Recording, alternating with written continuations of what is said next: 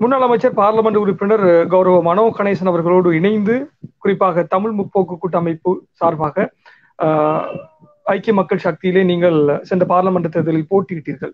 உங்களை நம்பி ஆஹ், நான் நினைக்கின்றேன் கௌரவ மனோ கணேசன் அவர்களோடு இணைந்து கேட்டதன் பிரதிபலிப்பாக முப்பத்தி ஏழாயிரத்தி தொள்ளாயிரம் என்கின்ற ஒரு அதிகப்படியான இமாலய இலக்கினை நீங்கள் முதலாவது தேர்தல் உங்களுக்கு கன்னி தேர்தலிலே நீங்கள் அடைந்தீர்கள்.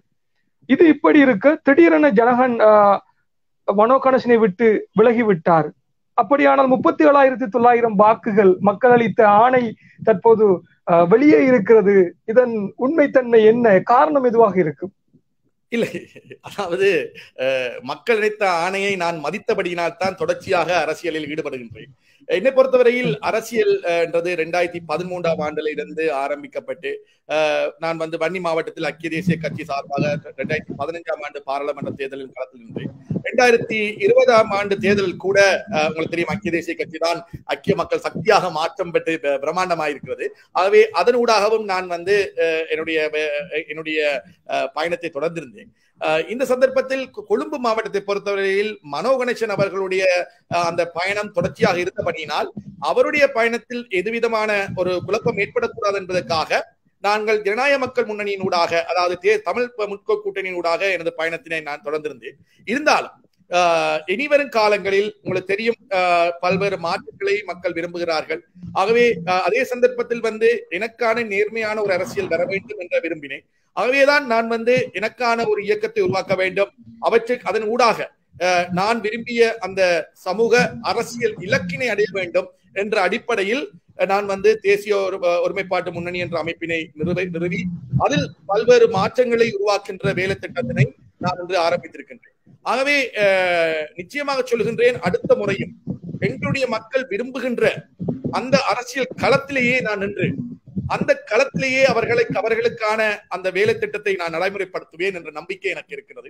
ஆகவே அஹ், இனிவரும் காலங்களில் அஹ், நிச்சயம் கொழும்பு வாழ் மக்கள் ரெண்டு பிரதித்துவத்தை பாராளுமன்றத்தில் வைத்திருந்தார்கள் தமிழ் தமிழர்கள். அவற்றுக்கான ஒரு ஒரு கேள்விக்குறி ஏற்பட்டிருக்கிறது.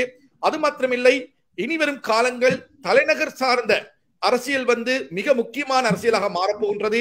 ஏனென்று சொன்னால் மாகாண சபை தேர்தலுக்கான அல்லது மாகாண சபைக்காலுக்கான அந்த பலம் இழக்கப்படுகின்ற சூழ்நிலையில் கொழும்பு அரசியல் அதாவது கொழும்பு நிர்வாக தலைநகரம் என்று சொல்லுவோம். இந்த நிர்வாக தலைநகரத்தில் இருக்கக்கூடிய அரசியல் மிக தெளிவாக இருக்க வேண்டும்.